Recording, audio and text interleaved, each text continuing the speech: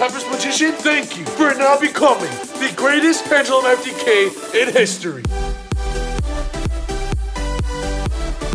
And if you guys haven't already, go check out the combo tutorial. And how I show you how to Tempest FTK with literally one servant. One servant equals FTK. And you know what? Every hand equals FTK through hand traps. Because our boy Jackal, my good friend, is amazing. The next coming of Kieran, Mr. Jackal King, hey, all he needs is his queen Kieran, and they're gonna reign on top of the Pendulum Kingdom with its god over here. So if you're excited for the new greatest Pendulum FTK in history, hit the subscribe button, hit the like button, and this is the deck profile. Let's go. Y'all thought I was playing.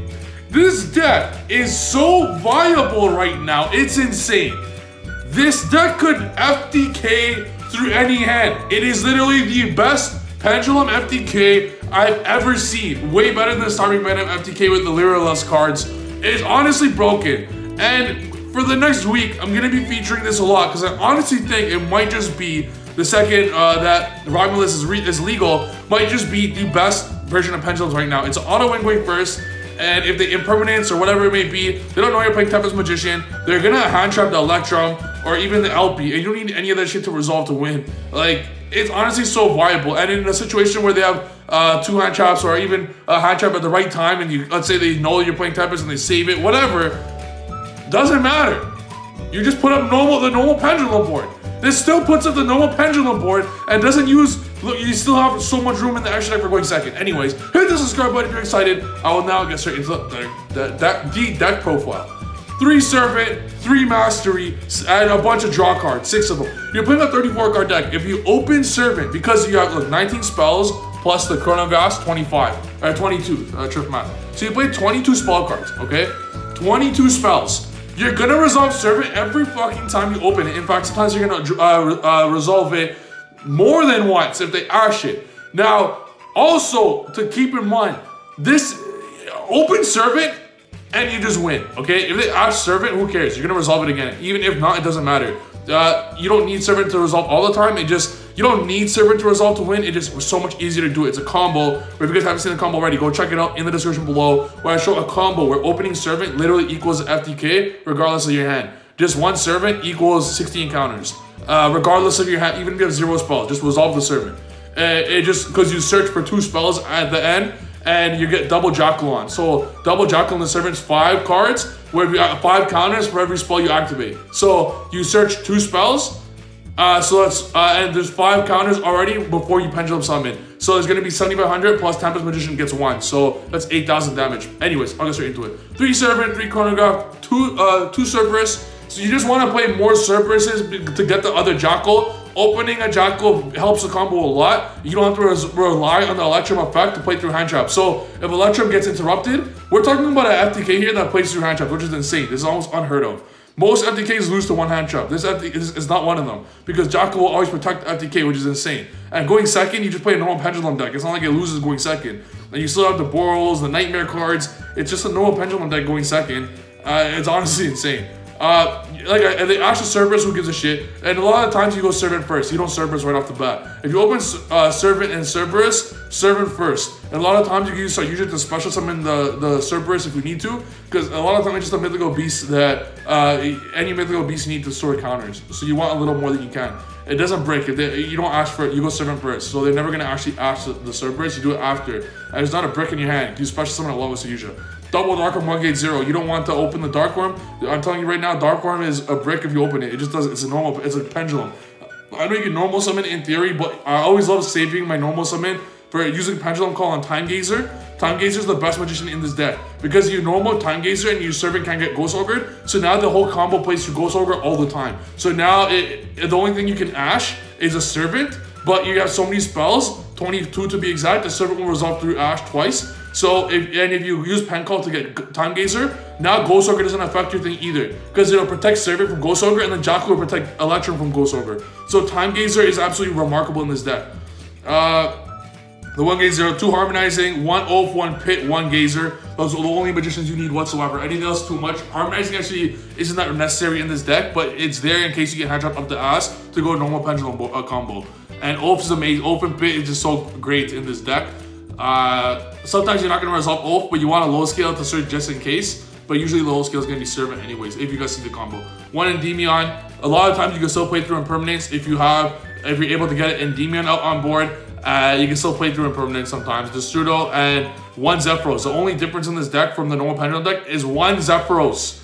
Zephyros is amazing to draw, I'm telling you right now. Uh, you just pendulum summon it and you get a free monster. And on top of that, in a deck that re relies on spell counters, it gives you a free spell counter because you bounce a scale activated again. And just one Zephyr, like there's no bricks. If you the shooter you're playing normally, and it's a free summon, and Zephyros is a free summon. They're just free summons. It's great. Triple Mastery, Triple Servant, those six card, best cards in the deck.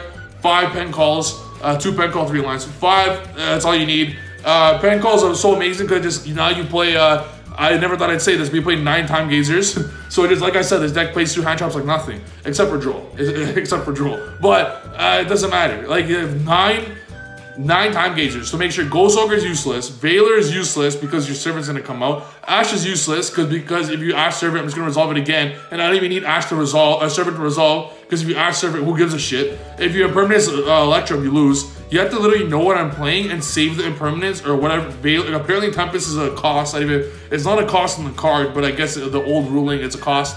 So you have to literally save your Veiler or Impermanent, whatever. You have to save your trap for Tempest. We don't know what I'm playing. And even if they know what you're playing and hand trap the Tempest at the end, you still have three negates after. After you FTK. Like, after you FTK, you still have three negates, which is absolutely insane. Three into the void, three allure. You want as many draw cards as possible to draw into the servant. Uh, you don't want to put Upstart to give them a thousand life points as an FTK deck. And Desires, you don't want it because if you get rid of Zephyros or Destrudo, it's much harder to do the combo.